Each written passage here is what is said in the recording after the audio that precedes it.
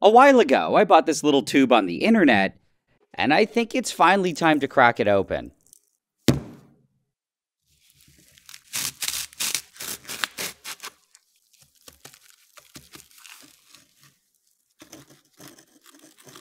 Inside of it, besides all the sand, is some nice cesium metal.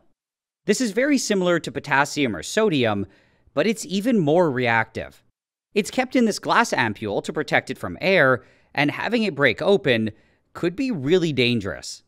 What's interesting though is what happens if I hold it for about 20 seconds. Just the heat from my hand was enough to melt it, and I now have some slightly golden, liquid metal. The melting point of cesium is only about 28.5 C or 83 Fahrenheit.